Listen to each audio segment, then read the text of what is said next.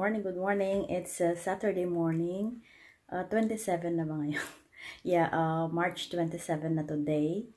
Um, yeah, um, mag-work ako, syempre, kaya magbe-prepare tayo ngayon ng ating breakfast. Um, papakita ko sa inyo kung ano yung um, ginagawa ko sa aking breakfast. Uh, pag, pag hindi ako nagpe-prepare ng oatmeal, ito ang ginagawa ko. Uh, smoothie.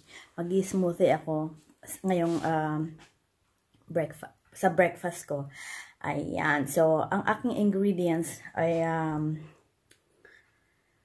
whew, um, strawberry, uh, kiwi, uh, banana, at saka almond, almond drink, almond milk. Ayan. So, at saka lalagyan ko siya ng kaunting um, whey, whey protein kasi, mm, basta lang. okay, so samahan niyo ako guys.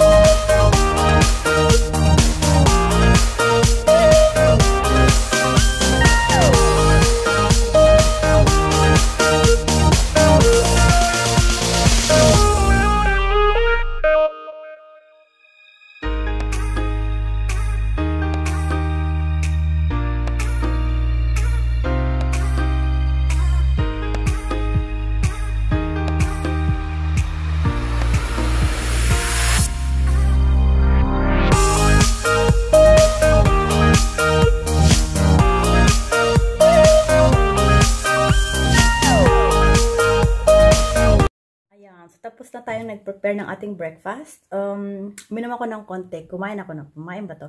Kumain ako ng konti. Tapos yung iba, dadaling ko siya sa work kasi um, hindi ko siya naubos. O, pagdating ko doon, siguro mga after 10 minutes, itutuloy ko ito, uubusin ko itong, ano, masarap siya, masarap. Try nyo to guys. Um, tsaka napaka-healthy. At tsaka, ano, um, meal re replacement din siya kasi nilagyan ko siya ng uh, protein um, mabigat siya sa ang tag dito ma matagal kang uh, matagal kang feeling busog ayan so maganda ito at uh, um yeah so try nyo to guys no masarap na masarap siya Wala akong masabi. Okay, so thank you for watching guys and uh, magkikita tayong muli sa aking next vlog. Magandang araw sa inyo at may God bless us all. Bye-bye!